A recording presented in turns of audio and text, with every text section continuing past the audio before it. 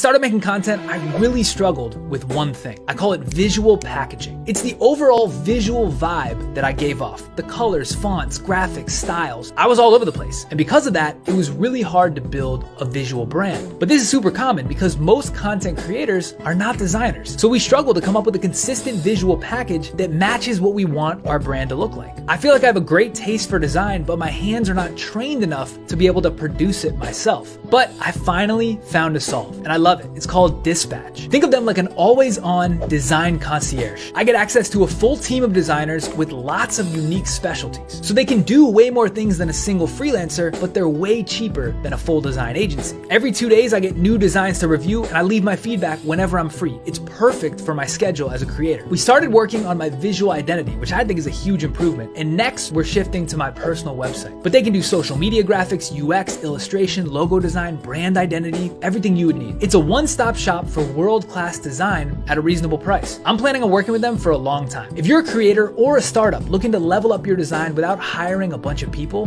this is probably the solve you were looking for. If you want me to send you more information, leave a comment down below and I'll reach out.